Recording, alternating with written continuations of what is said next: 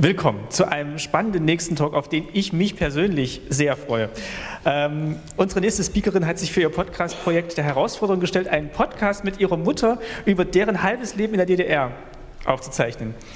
Und wie bringt man also über zehn Stunden Gesprächsmaterial in einen Podcast über die vielen kleinen Alltagsbegebenheiten eines vermeintlich ganz normalen Lebens in der DDR, abseits großer Ausnahmegeschichten über Flucht und Stasi? Unsere Gästin sagt, mit Mut, Mikros, Distanz und Neugier. Sie hat sich also ihre Mutter geschnappt und gesagt, Mensch Mutter, jetzt sag doch mal. Hier ist Katharina Thoms.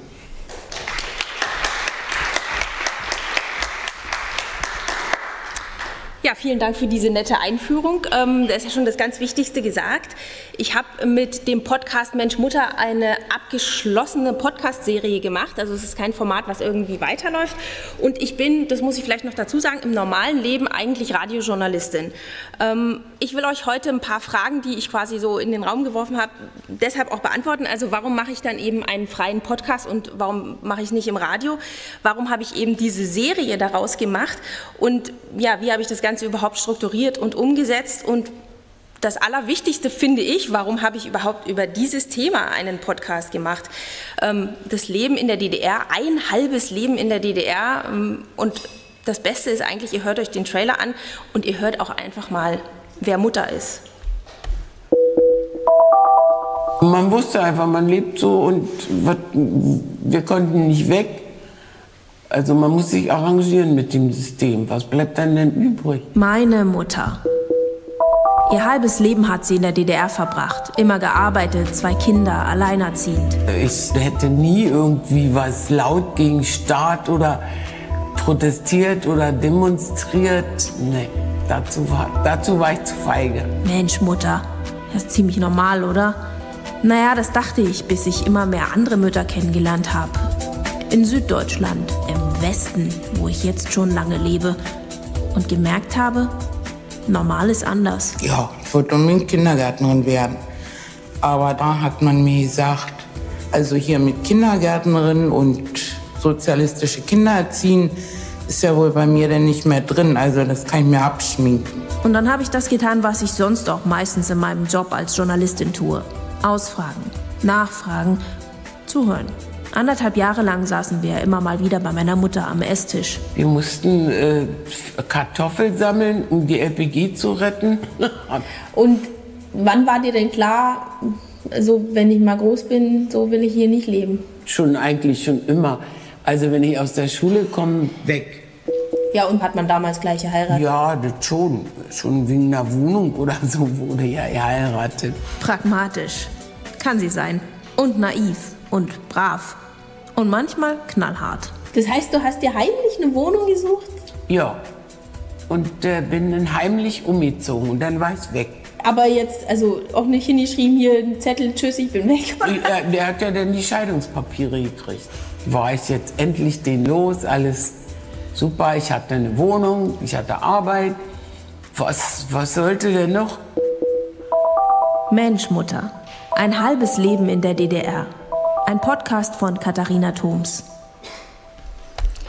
Ja, dieser etwas ähm, bisschen längere Trailer trotzdem, um einfach euch mal einen Eindruck zu geben, wie das eben klingen kann und wie das eben klingt in diesem Podcast. Die Frage, warum eben erzählen über dieses eine halbe Leben in der DDR.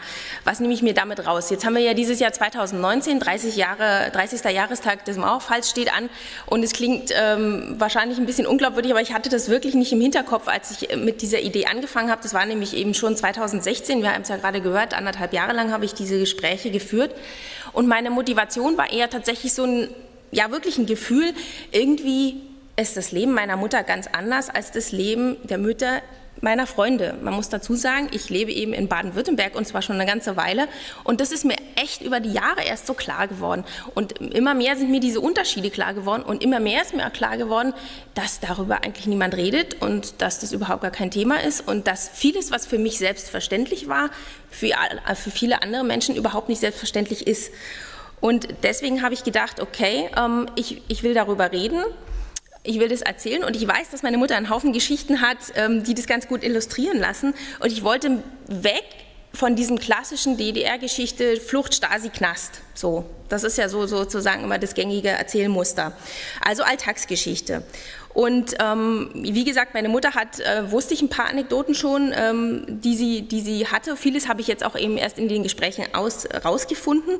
Zum Beispiel eben auch, ähm, ja, wie meine Mutter das empfunden hat, was alle Menschen in der DDR hatten, nämlich Staatsbürgerkundeunterricht, also unter äh, den politischen Pflichtunterricht über den Sozialismus, den viele ja auch ähm, aus dem Podcast von Martin kennen.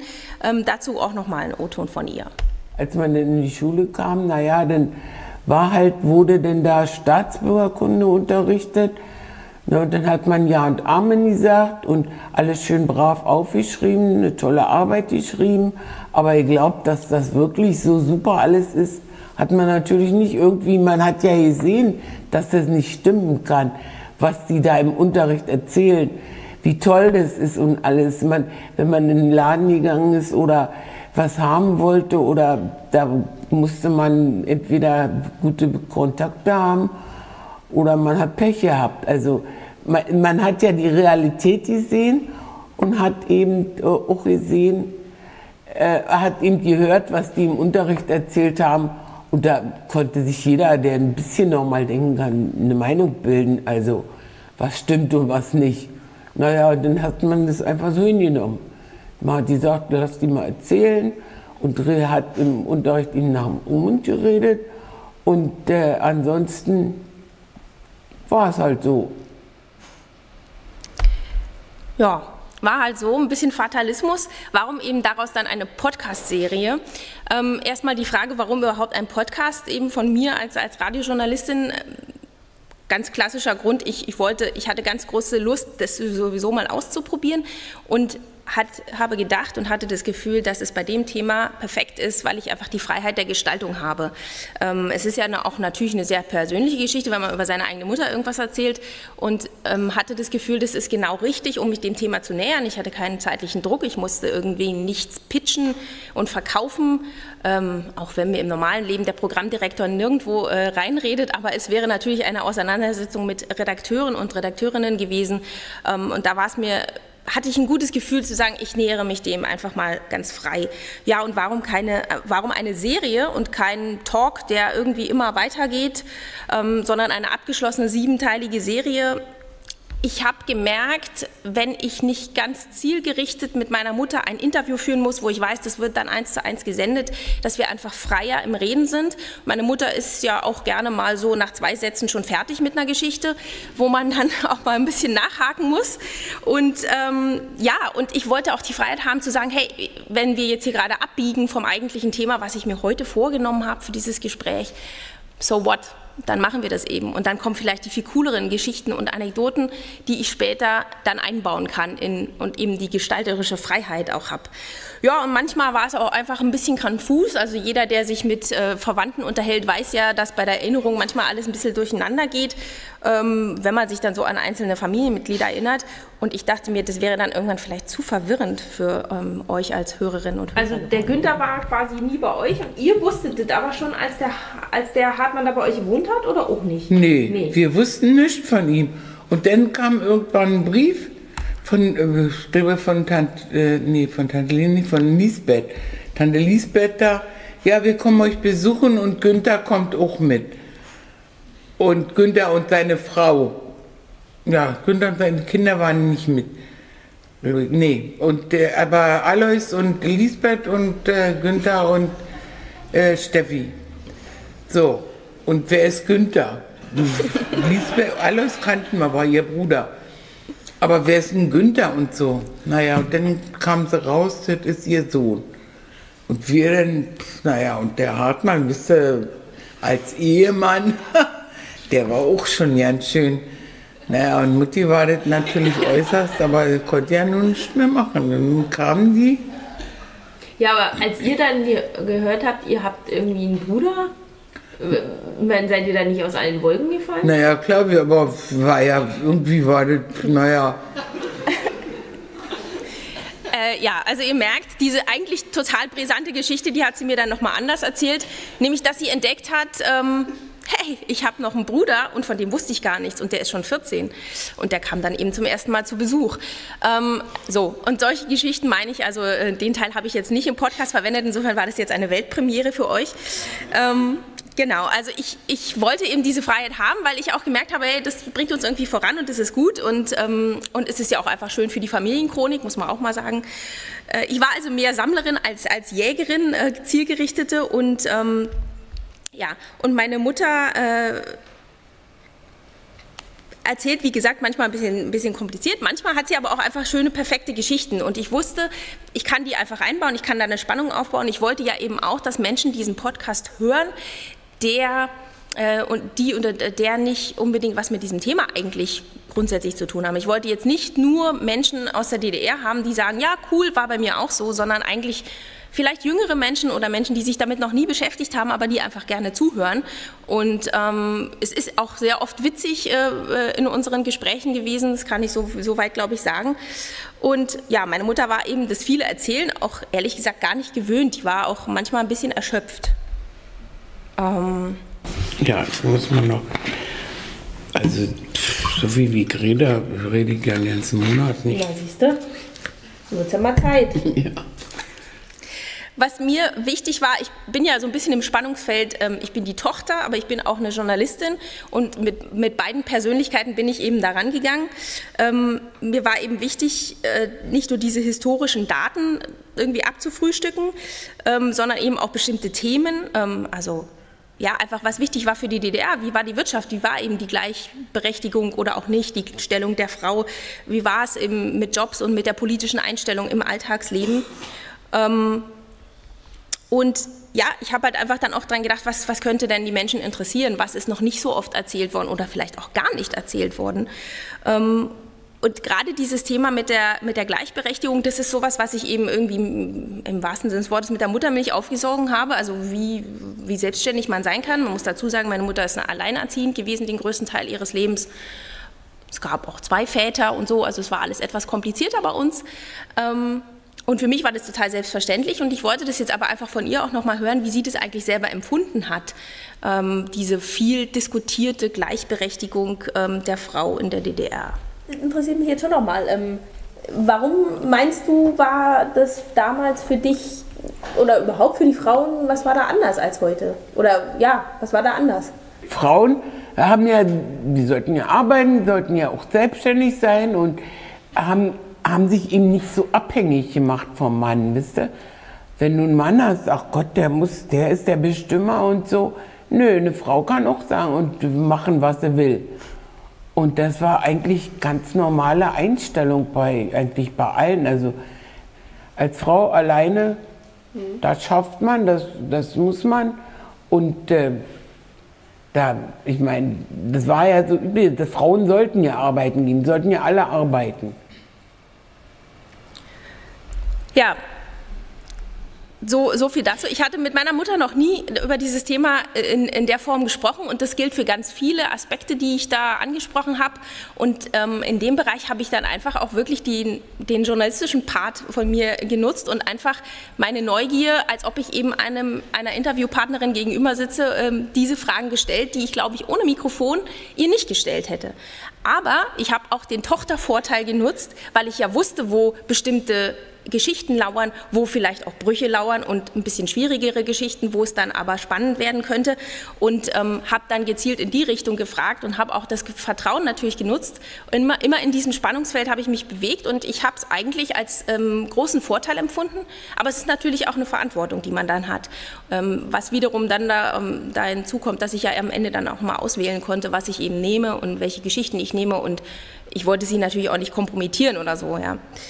Ich glaube, ich hatte noch einen einzigen Vor äh, einen, einen, Vorteil, nämlich ich glaube, meine Mutter hat gar nicht geglaubt, dass da jemals was draus wird, weil der Zeitraum, dass wir, dass, wir haben so lange geredet, immer wieder, dass sie da wahrscheinlich gedacht hat, lass die mal machen, äh, das, das, wird sowieso nicht. Ja. Ähm, genau, und eine von diesen Geschichten, die ich noch von früher wusste, ich hatte nämlich ähm, das Glück, wirklich, muss ich sagen, im Nachhinein, dass ich meine Mutter schon mal vor 20 Jahren interviewt habe für ein Schulprojekt, da war ich noch Abiturientin.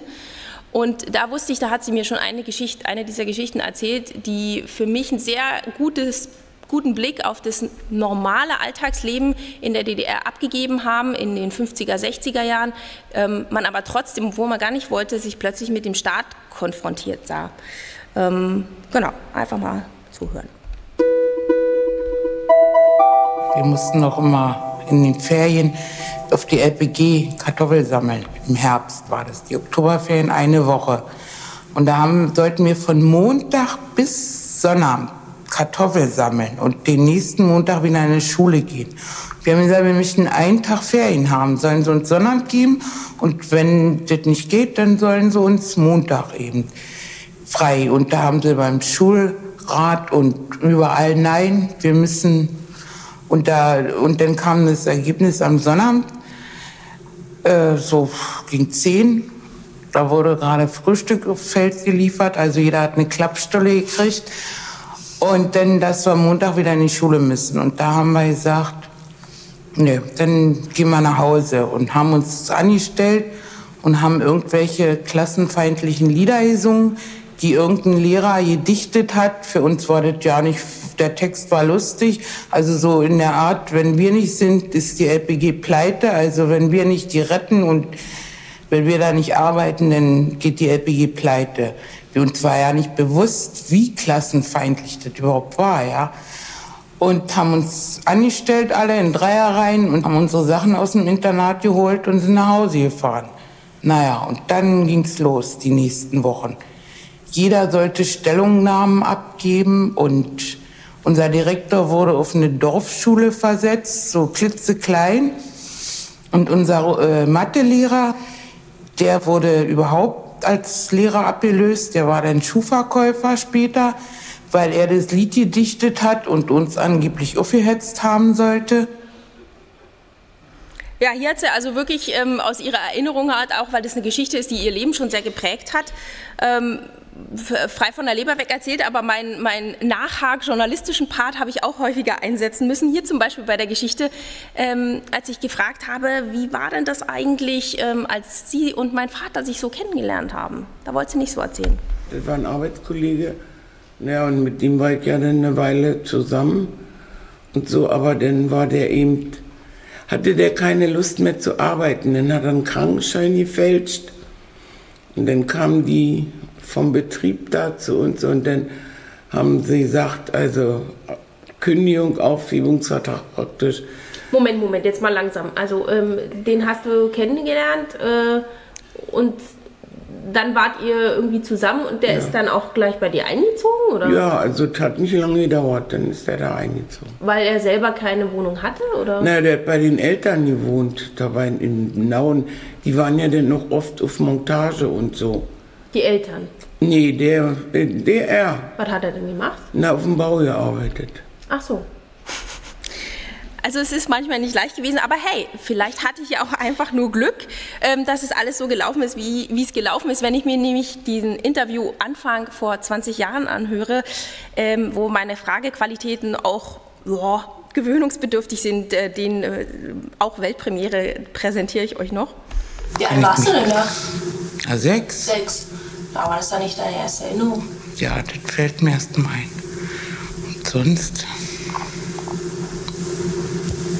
Ich wüsste nicht. Und dein Name, was ist denn die erste Erinnerung zum Beispiel an deine Schwester? Was ist denn so das erste, was dir da zu ihr einfällt? Aus der Erinnerung jetzt. Tja, ich weiß es nicht. Das aller jetzt, ich weiß es nicht. Naja, einfach so, was, was dir jetzt als erstes einfällt. Vielleicht ist es ja sogar die erste Erinnerung. Weiß nicht. Okay, wir sind auf jeden Fall trotzdem sehr weit gekommen. Zehn Stunden Material habe ich am Ende gehabt ähm, und das war eine ganze Menge Holz.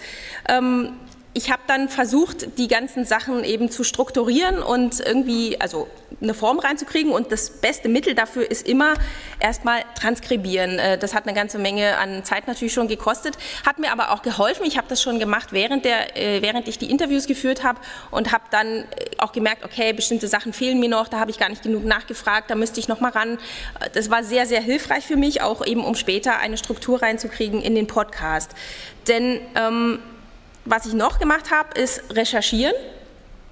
Ich habe äh, viele Geschichten auch einfach nochmal gegengecheckt, wie waren das wirklich, was steht so in den Geschichtsbüchern, war, passt es ungefähr in die Zeit, wo sie das einordnet, was weiß ich, sie hat äh, auch mit der katholischen Kirche äh, gearbeitet, was hatten die eigentlich für eine Rolle in der DDR, ähm, äh, so Dinge wie Enteignungen und so, in, die sie auf ihrem Dorf in den 50er Jahren haben auch da eine Rolle gespielt, wie waren das, sodass ich jetzt nicht unbedingt die Fakten alle direkt in den Podcast mit reingebracht habe, aber wusste, okay, wenn ich so und so darstelle, das hat auf jeden Fall Hand und Fuß und ist kein Quark.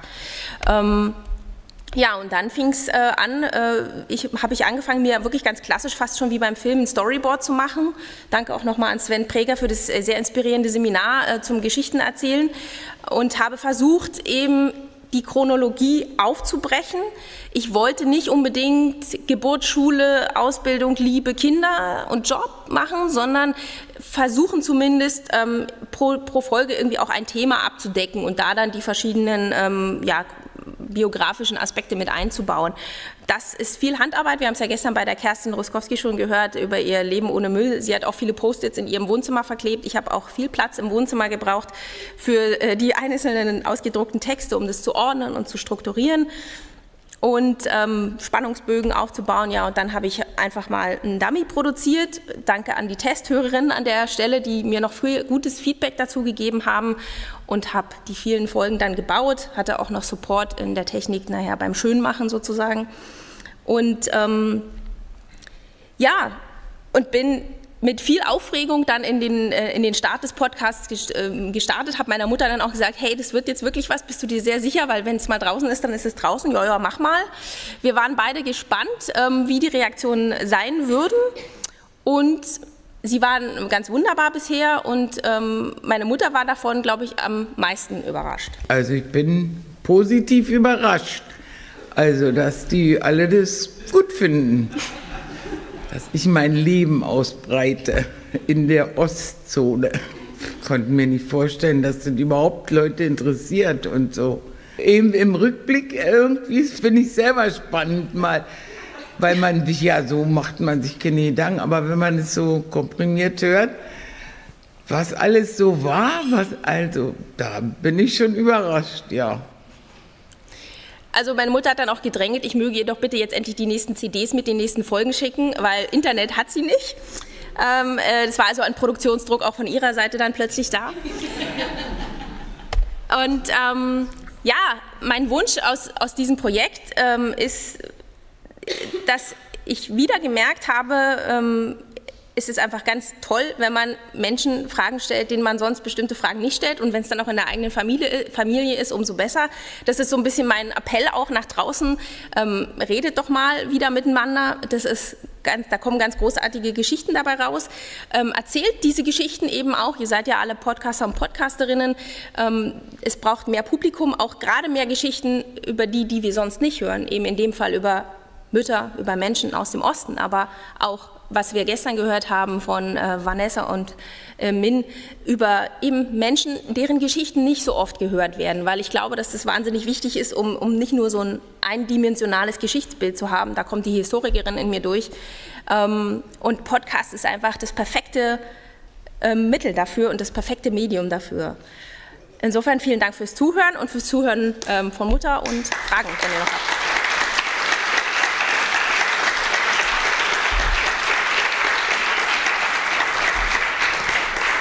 Und jetzt ist Zeit für Fragen. Ähm, fangen wir hier. Ich will nur das Mikro. ich dachte, du wolltest selber was. Nee. Ähm, hallo.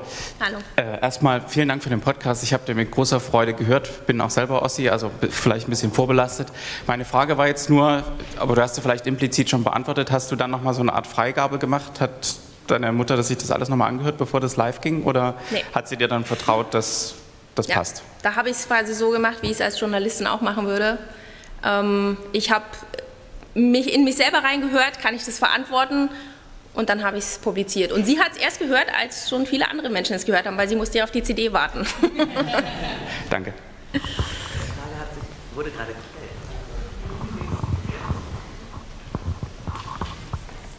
Hi, danke. Ich habe ihn noch nicht gehört, aber ich habe total Lust drauf. Ähm, meine Frage ist, ähm, äh, du hast ja jetzt gesagt, hast du ganz kurz gemacht den Rechercheteil. Wie viel hast du denn dann noch Zeit in die Recherche gesteckt? Weil Martin mit Staatsbürgerkunde, der macht, glaube ich, nicht so viel Recherche, oder? Du, du glaubst die Geschichten, die... die genau, das war meine, ist so meine Frage. Wie, mhm. wie, wie, wichtig ist das in so einem Format? Ähm, genau. Also es ist jetzt nicht der überwiegende Teil gewesen, das gebe ich zu. Ich einfach auch da, ich habe mich ja auch früher schon mal mit DDR-Geschichte beschäftigt und viele Dinge waren mir schon auch noch so grob präsent und ich habe dann einfach bestimmte konkrete Sachen nochmal nachgeschlagen. Also wirklich tatsächlich dieses Beispiel Bodenreform. Ich wusste, okay, das war so, aber wie waren das genau? Meine Mutter kommt von einem Dorf, da gab es ein Rittergut und es war dann später ein volkseigenes Gut. Was heißt denn das eigentlich? Und das habe ich dann versucht auch in den Podcast einzubauen, weil ja, das ist so, so Sachen, die man schon mal gehört hat, aber wo man nicht genau weiß. Oder eben äh, Scheidungsrate, ja. Meine Mutter hat sich ja eben in den 70ern scheiden lassen und so und das war einfach um das einzuordnen, wahnsinnig typisch. Das war einfach, jede zweite Frau hat sich da scheiden lassen. Und das passte eben dann auch. Und so Sachen habe ich einfach ganz gezielt nochmal nachgeschlagen. Ähm, das hörte sich jetzt so an, als hättest du während des Gesprächs das Mikro immer auf sie gehalten und du hast selber nicht reingesprochen. War das vorher überlegt? Äh, war das Absicht oder... Ähm Nee, ich hatte eigentlich zwei Mikros. Das sind jetzt nur nicht die, ich habe mir jetzt ehrlich gesagt bei den Audiogrammen jetzt da, hm, ich habe nicht beide Spuren genommen. Im Podcast ist es so, dass ich tatsächlich äh, eine Spur auf mich und eine Spur auf sie und das dann verquickt habe und ähm, genau. Und jetzt hatte ich aber quasi nur diese einseitige Aufnahme, weil es jetzt eher um sie ging. Deswegen war der Ton von mir nicht so dolle. Ja. Also Audioqualität, muss ich nochmal sagen, habe ich viel Herzblut reingesteckt und habe auch nochmal jemanden das mastern lassen, weil ich selber großer Fan davon bin und ähm, genau. Ein großartiges Projekt. Äh, viel Dankeschön. Respekt dafür. Ähm, ich habe eigentlich die gleiche Frage wie der Kollege. Ich würde die gerne noch ergänzen. So dieses technische Equipment ist ja immer auch so eine Hürde. Hast du dir da vorher Gedanken drüber gemacht? Man will die Hürde ja irgendwie abbauen, aber dann eben doch einen guten Klang. Ähm, du meinst eine Hürde jetzt fürs Sprechen miteinander? Ja, klar, wenn man den Leuten ein Mikrofon in die, mhm. ins Gesicht hält, äh, verhalten mhm. die sich typischerweise anders, wenn sie keine geübten Sprecher Genau, der Klassiker ist immer erst am Anfang, Gott, meine Stimme hört sich ja furchtbar an. Ähm, also, ja, ich habe mir Gedanken darüber gemacht. Ähm, aber meine Erfahrung ist, weil ich eben, ich habe zum Beispiel schon mal einen Dokumentarfilm gemacht auch, es ist, die Hürde ist nicht ganz so groß, als wenn noch eine Kamera dabei wäre. Deswegen war das für mich eigentlich klar, dass es ausscheidet. Also es musste irgendwie nur Audio sein äh, nur Audio. Ähm, ich habe das aber auch als Vorteil für mich selber empfunden, weil ich glaube, ich bestimmte Fragen auch gar nicht gestellt hätte, wenn da kein Mikro gewesen wäre. Das hat dem etwas offiziellen Rahmen verliehen. Ähm, und wir sind aber trotzdem ins Quatschen gekommen so äh, mit der Zeit. Also, und das ist ja wieder auch dieses, äh, dass ich sage, hey, ich bin total frei und wenn wir jetzt die ersten 20 Minuten irgendwie äh, irgendwas labern, was irgendwie nicht zielführend ist, ist ja wurscht. Hauptsache, wir kommen erstmal rein, ist ja egal, ich kann ja später dann später einsteigen. So. Also ich weiß nicht, meine Mutter fand es am Anfang, glaube ich, schon komisch, aber ähm, irgendwann hatte sie sich dann dran gewöhnt. Ich glaube, das war es mit Fragen bis bis hierher. Dann äh, vielen herzlichen Dank für den Vortrag und es geht gleich weiter.